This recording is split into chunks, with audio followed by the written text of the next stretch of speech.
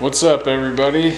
Today's vlog I decided to uh, do a little something in the garage. I'm on call at work so I can't do much so I decided to pull the boat in the garage and uh, get it ready for fishing season. It's just around the corner. Um, Cody and I will probably be going to Rifle Gap next month around our birthday hopefully and trying to go slay some big smallmouth bass there like I did last year. But uh, I'm gonna go over what I have for setup on my little 14 foot boat. Nothing too special, but did some mods to it you guys might like to see and do on one if you have a boat like this. But uh, I'll also go over mystery tackle box. I've been doing that for a while. They send a box monthly with lures and I'll just kind of show you a few of the boxes and what it comes with. See if you think it's worth your money. So stick with me here and we'll go over all this stuff and hope you enjoy. Let's do it.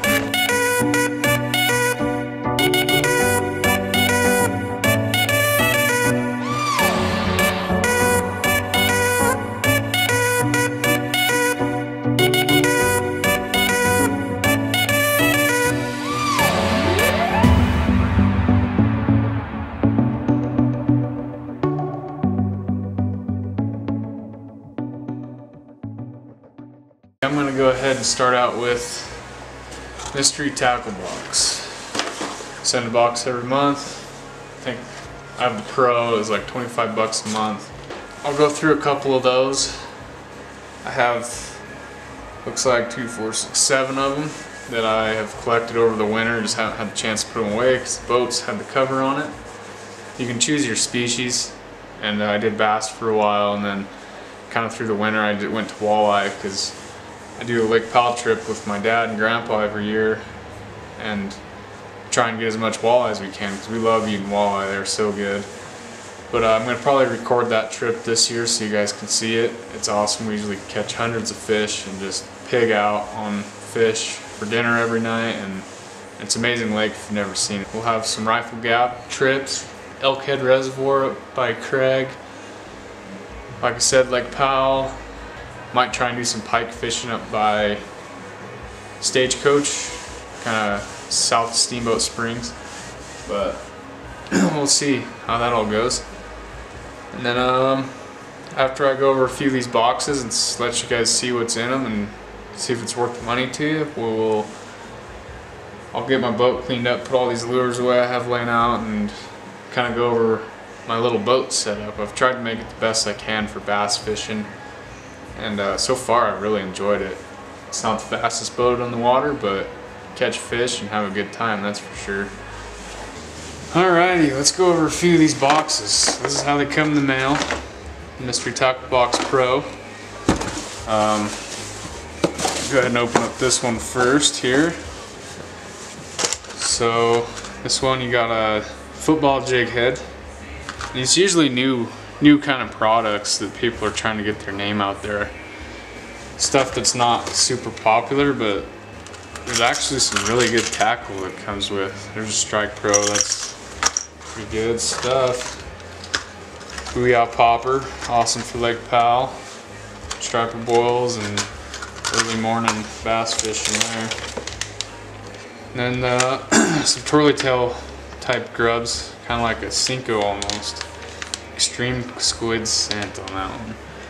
But anyway, some tubes, nice salty little tubes. Those are killer on smallmouth. I guarantee that'll be good at Lake Powell right there.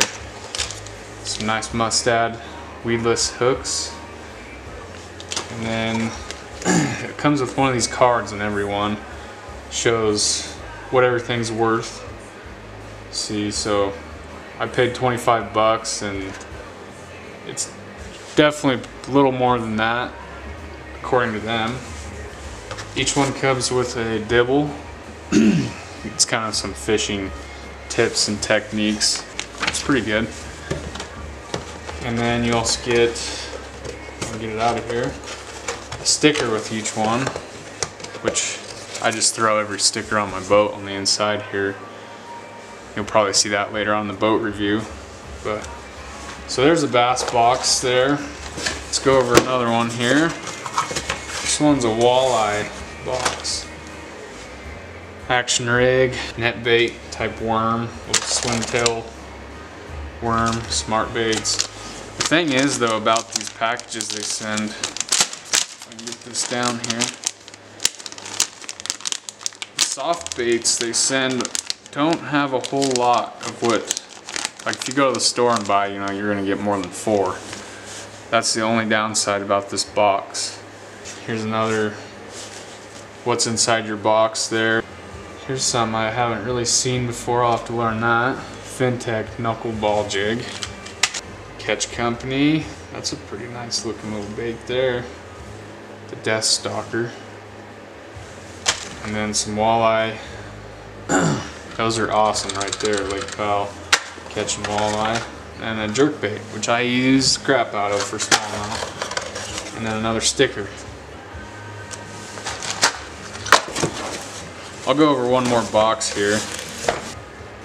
Charlie's Worms scented. That one's closer to the usual amount you get on soft baits. Big bite baits, swim tail on them. There's your dibble book, once again. And then we've got some liquid scent here. Liquid Mayhem Walleye Attractant. Got a Yo-Zuri Special Color, it says. And then a Strike Pro, kind of like a rattle trap. Another good one there. Beads. Might be pretty good for some trout right there. The sticker again. Of some fun stickers every once in a while, but so you saw a few boxes, see if it's worth your money if you really want to go for it. But uh, yeah, that's what's in them. Sometimes you get more in a box, sometimes you don't get as much. It just really depends on the month, but I kind of liked it. You can really stock up on some new tackle that you might not be able to find as often, you know, stuff that might work real good, stuff that might not, but there you go, there's that.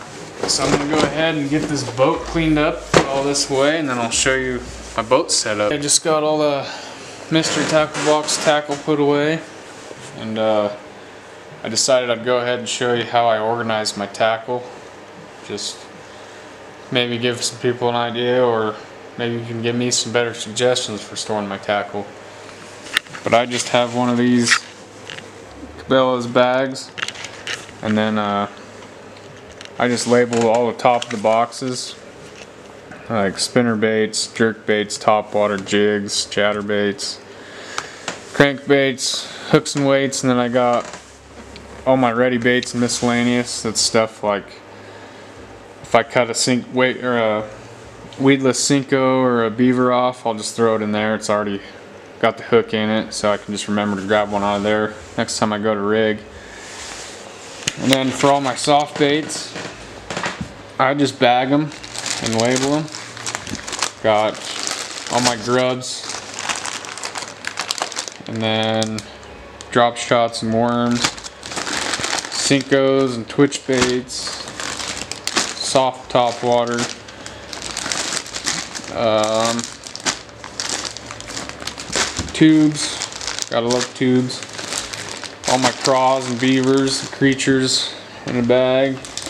And then uh, swim baits and swim tail, soft baits, stuff like that. So it's all in these gallon Ziploc bags and then I just stuff them all in this soft bag and then I can put them down in my compartment here and keep them stuffed away and out of the way of everything else. So that's how I store all my tackle. That's pretty much about it for my tackle. Uh, I'll go over the boat next and see if I can give anybody some good ideas for uh, what you can do with these little boats. They can actually be pretty sweet little fishing boats. So we'll go over that right now. All right, here she is. It's a, I believe, 1980s, late 1980s Mirrocraft. See there, Mirrocraft and uh, it's got a little Mercury 200 on it. It's a little 20 horse. it does pretty good. Disconnectable fuel tank. And then I put this Lowrance hook hook 3X on it. Um, the wires for it run up to my battery compartment. And then my transducer I have right here on the back. But uh right here is my battery compartment. Battery's not in there right now. And uh when I got the boat this front deck was already on it. This from this line forward. And then it had another well and then another bench seat just like this is here. So I went ahead and built an extra deck between the two bench seats here. And uh, it's awesome. All that deck room is nice for moving around. If you have another person in the boat two people can fish up there pretty easily. I built in this compartment. Here's my soft tackle swimming trunks still got some old snacks and beer cans in there from fishing season last year and then I went and picked up this Minn Kota Edge. I believe it's a 45 thrust and it'll move this thing. I went to uh, Pelican Lake in Utah and it's uh, got a lot of reeds and whatnot in Pelican Lake. And uh, this thing can pull that boat right through the reeds, just chopping them all up and going to town. So it's done good. I'm loving it so far. That just hooks straight up to the battery compartment. And uh, that's pretty much the big additions I've done to it. I'm wanting to build a deck on the back here on this. And I'll put another seat on this side, bolt it down to the board, and then uh, kind of have it come back, come back into here and up over there.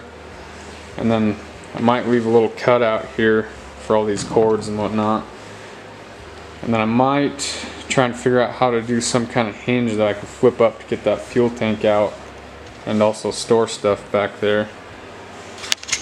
But yeah, that's what you can do to these little boats. Have a nice bass fishing deck on there.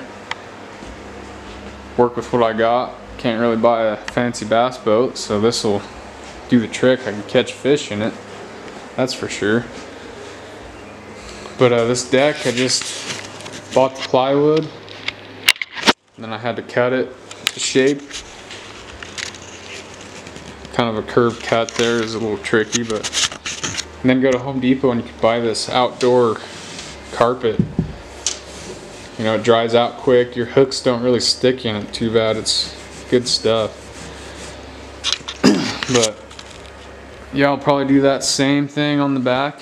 Have two seats, little fishing deck for a second or third person. It'll make it a lot better instead of two people up there whipping their hooks around. But yeah, this is what Cody and I'll probably be taking out fishing to Rifle Gap here next month.